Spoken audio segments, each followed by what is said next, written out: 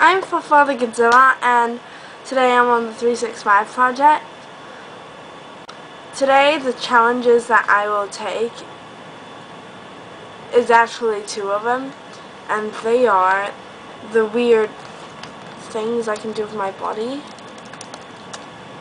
and also trying not to say um which is going to be hard. I mean that doesn't count because I had to tell you what my challenge was. So those are the two challenges I'm gonna do. Did I just say um? Uh, I didn't, right? No, I, no, I didn't. I, I don't think I did anyway. You know, I didn't.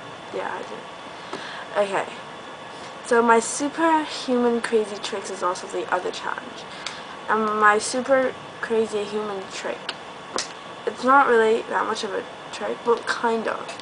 Basically, I've got really weird pinkies, and they are like floppy. And maybe because it's on video it doesn't look so weird but in real life if you touch it like that it is pretty weird. Feels like I don't have bones and like it's really soft.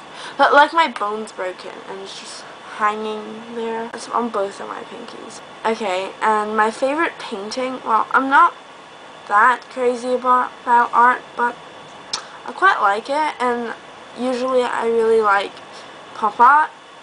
So like the Campbell soup one, I really like it.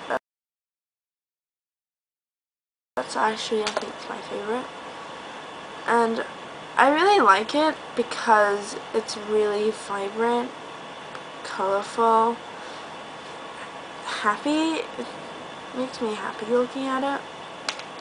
And I really like that sort of art because uh, it kind of defines me. It's like so random, colorful, retro. I, I really like it, yeah.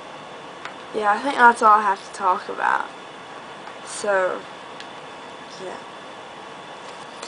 Uh, I hope you enjoyed my ow video and yeah bye